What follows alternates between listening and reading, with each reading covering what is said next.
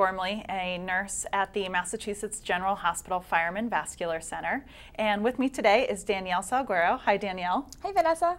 Great to have you here. Thank you so much for having me. Oh, of course. So, Danielle, you are a critical care nurse within the Vascular Center. What exactly is a critical care nurse? So, I work at Mass General Hospital. I work in the neurointensive care unit where we take care of a wide variety of patients. We take care of patients who have suffered strokes, we take care of patients who have had traumatic brain injury, either from a fall or from a motor vehicle accident. Okay, so those are pretty serious diagnoses. Thank you for doing such a great job taking care of those patients. Um, so today we're actually going to talk a little bit about identifying a healthcare proxy and completing a healthcare proxy form. So let's just take it from the top and let me ask, what exactly is a healthcare proxy? Great. So a healthcare proxy is a very important piece of paper for your healthcare providers. It is a form that you fill out where you designate a spokesperson who would make healthcare decisions for you if you were ever unable to make them for yourself. Okay, so this is a really important document for me to fill out. It really is. How do I even identify who would be my healthcare proxy? That's a great question, Vanessa. So when you think about who you want to appoint as a person to make decisions for you, you really want to think about a person who would would speak up for you, who understands your wishes, who you feel very confident and trust. Okay.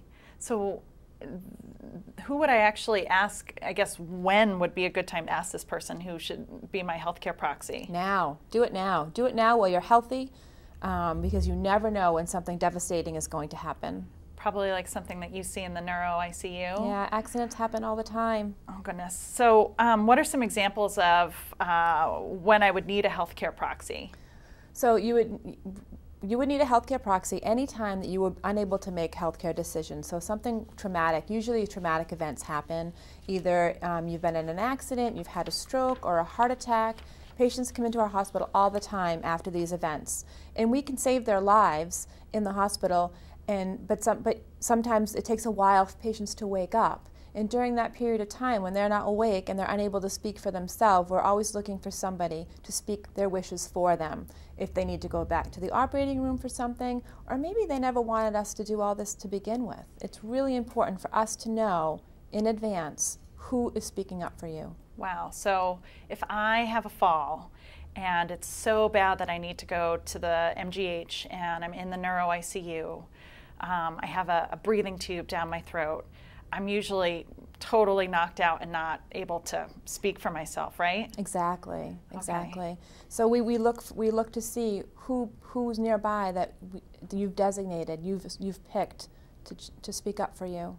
So do you think most people, especially out there in the community, understand the importance of this healthcare proxy document?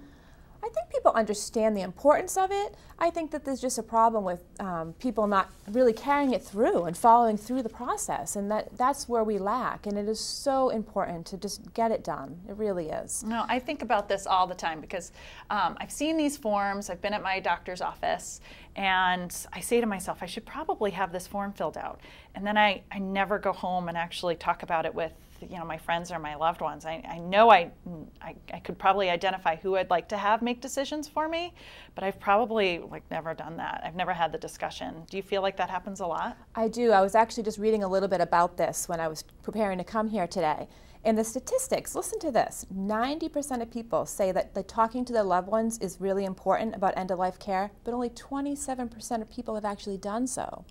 Another statistic I read was that 80% of people say if they were seriously ill, they would really want to talk with their doctor about end of life care, but only 7% have actually had that conversation those were eye opening to me. Okay, so the good news is I'm not alone, but the bad news is that there's too many of us out there just not making decisions and putting it on paper as who we'd like to identify. Exactly. So these are super important points, and it's really eye opening about what we really need to do um, as community members in identifying a healthcare proxy and filling out this form to really have someone make decisions for us that are the right decisions if, God forbid, something happened to us.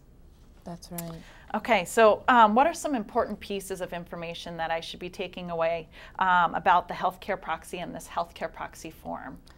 Well, I think that what you need to, one of the most common questions that we get asked in the hospital is, um, do you need a lawyer to fill out a healthcare proxy form? And that answer is no. Anybody can fill out a healthcare proxy in your own home. All you need is two people there to witness it that aren't named on the healthcare proxy. So it's very, very simple to do, and we'll go through that process in a moment. Okay. The other piece of information that people um, confuse a lot as well is that they think that a living will is a healthcare proxy, and they're two separate things. And the truth is that many hospitals in Massachusetts don't recognize all the details of a living will. So, really, having a healthcare proxy is so important. Okay, this is really great to know because I personally don't have a lawyer.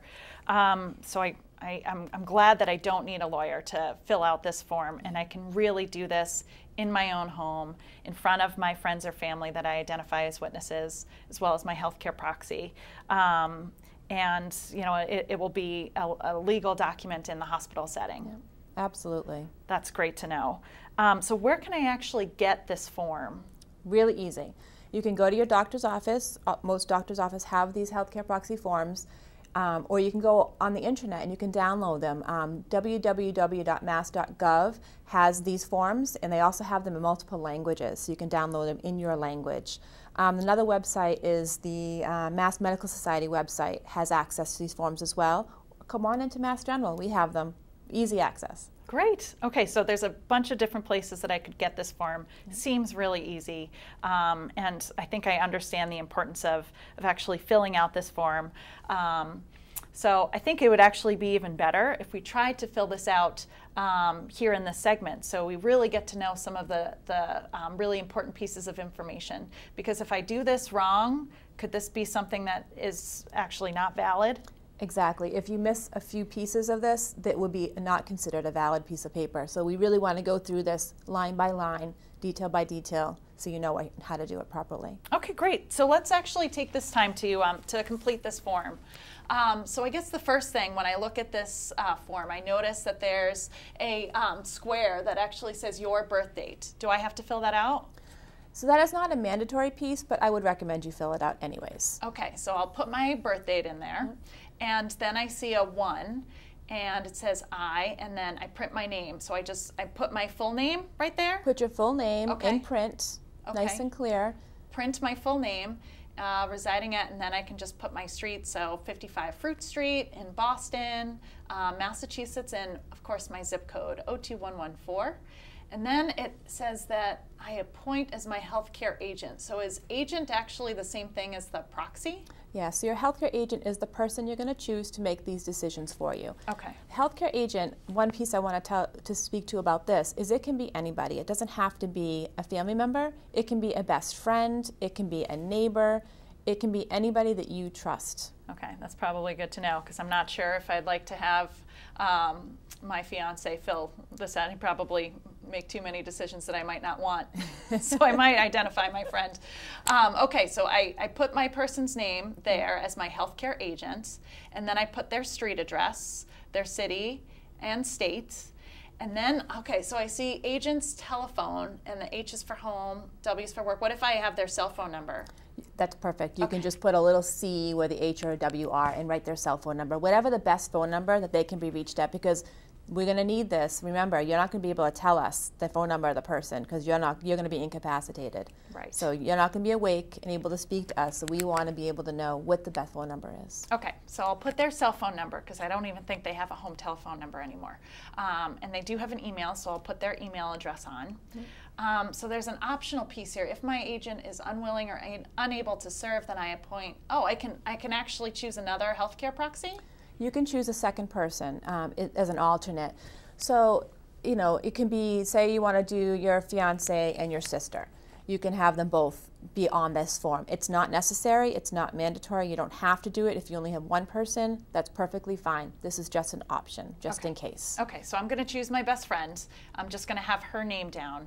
Um, I'm not going to put uh, an alternate agent because I really don't want anybody else making decisions for me except for my best friend. Okay, so I can actually just leave that part blank. You can leave it blank. Okay, great. So now I go on to step two um, which states, I guess, the main point of this form. My agent shall have the authority to make all healthcare decisions for me, including decisions about life sustaining treatment. And that goes back to if I have this big fall or a really bad stroke, and it looks like you're doing everything you can to save my life and you might have to put that tube down my throat. That's that's life-sustaining treatment. That is, and if it's something you don't want, you need to have that conversation with your person to tell them. Okay, okay. Um, so then it says, subject to any limitations I state below, if I am unable to make healthcare decisions myself, my agent's authority becomes effective if my attending physician determines in writing that I lack the capacity to make or to communicate healthcare decisions.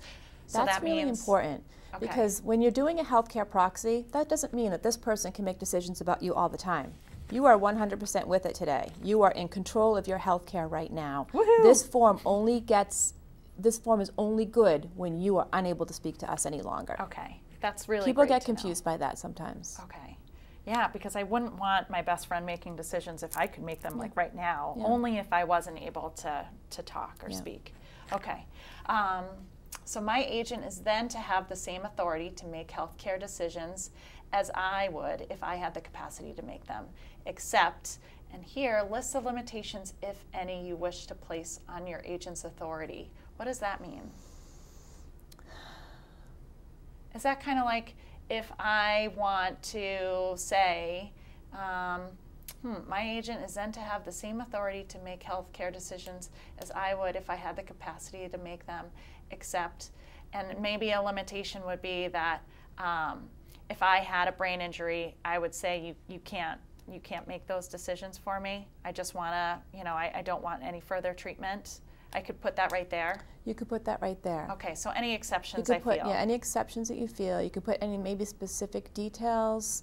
Um, if you wanted to, you didn't want a feeding tube. I think that you could put that there. Make all decisions about me, but please don't give me a feeding tube. Okay. I think Do I have to put that there? you don't. That honestly, a lot of people usually don't fill out that section. Okay. They, most people leave it blank, but it's nice to know it's there just in case. Yeah, I think the first really great step is that I'm completing this form. Just I'm doing it. identifying a healthcare proxy.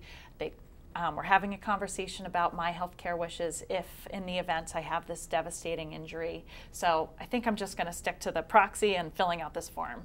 And the exceptions, we're just going to leave blank. Okay, cool.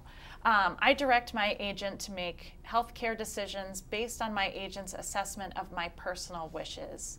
If my personal wishes are unknown, my agent is to make healthcare decisions based on my agent's assessment of my best interests. So that means, you know, this, this speaks to the importance of having this conversation It does. about if I have a massive stroke, would I want to spend the rest of my life in a wheelchair um, requiring 24 7 supervision and care? Yeah. Yeah. Okay. So it's important. That's why it's important not just to fill out this form, but to have those conversations with that person. What would you or what would you not consider acceptable way to live? I mean, these are really deep thoughts. It's no wonder why people, you know, have a tough time, you know, having this conversation. But it's so important because I know my wishes. If I was were to have a catastrophic event, um, and you know, didn't really want to move forward with um, any kind of life-sustaining treatment, but Yeah. my family probably doesn't know that. Yeah, you gotta I- make 'em I know my best friend doesn't, and that's the person I'm actually identifying as my healthcare proxy. Okay, so um, step three is just for me to sign. I sign it. You sign this form, and most importantly, is you date it. The Okay. day that you're signing it, you date it, and that really makes this form valid. Okay, so I put the month, the date, and the year. So I sign it and I put the date. And then it says something here complete only if principal is physically unable to sign. So would that be like if I actually couldn't use my hand already? Exactly. So if you had a stroke and it affected the right side of your body and you were right-handed and you couldn't sign your name, you would you would be able to direct somebody else to sign your name with your consent um, to this form. Okay, it would just I would have to be able to make my own decisions. I would have to kind of have capacity, which is the kind of official term. So um, I have to be of sound mind and be able to physic have maybe a, a, a slight disability that doesn't allow me to sign a To form. sign your form. Okay, all right. And then step four is this witness statement. So we, the undersigned, each witness the signing of this healthcare proxy by the principal or at the direction of the principal and state that the principal appears to be at least 18 years of age, of sound mind, and under no constraint or undue influence. This is very official. But I guess what they're trying to say here is I, I have I need two witnesses that aren't my healthcare proxy that are just witnessing me signing this form? Exactly. It's a mouthful, but basically that's exactly what it is. We are witnessing that you are appointing your girlfriend to be your healthcare proxy and it is your signature. And that is all we are witnessing. And we as long as we are not named on Mm-hmm. this form, anybody can sign it. It doesn't have to be a healthcare professional. It can be anybody that you wish. Okay, so I guess the big thing, I, I can't like fill this top part out and sign it and date it and then maybe the next day bring it to my doctor's office to have two witnesses. Now, if you want to do that, you should bring it to your doctor's office and complete the form all right there so they can watch you do it. Okay, so the entire form has to be completed And right, witnessed. you know, at that moment with everybody there. Um, okay, so I need the two witnesses there when as I'm filling out this whole form. Okay. And the other piece that is important as well is that nobody else can fill out this form for you. Only you can fill out this form. We've had people ask, well, I know what he wants. Can I just fill out the form for him? You can't do that. It has to be the, the you that fills out this form and you sign it and then they witness it. okay. And this date right here, this bottom date under, under four witness statement, right above the signatures, witness one and witness two, there's a date in there. It's kind of hidden in there. Yeah. That date is very important as well because if that date is not there, the form is not any good either. Thanks for bringing that up. I probably totally would have missed that. So Yeah. there's actually two dates, dates. that I need to put on this, um, as well as my birth date, but then two, um, the month, date, and year in two spots on step three, and then again on step four, four. because it's the same day. Yeah. Okay. This has been so helpful, um, Danielle, to go through and really identify the whole process about identifying a healthcare proxy and completing this form. So thank you so much for your time. No, thank you for going through it because we see it all the time. You know, we really do. It's so important to get this done and have these conversations. All right, thank you again. So, everyone out there, make sure that you are identifying a healthcare proxy. You're acquiring this form either at your doctor's office or online at www.mass.gov or on the Massachusetts Medical Society's website. Uh, there's actually multiple languages that you can um, acquire to fill this form out in. So make sure that you go online today. Um, I guess the other big thing is make sure you have this conversation with the important people in your life so that you don't end up in the hospital in a life threatening situation and not have anybody to make the right decisions for you. Thank you so much for watching. Stay tuned because after this segment, we'll have the uh, PowerPoint presentation uh, where you can actually review the slides and see this form and its completion. Thank you so much uh, for watching and take care.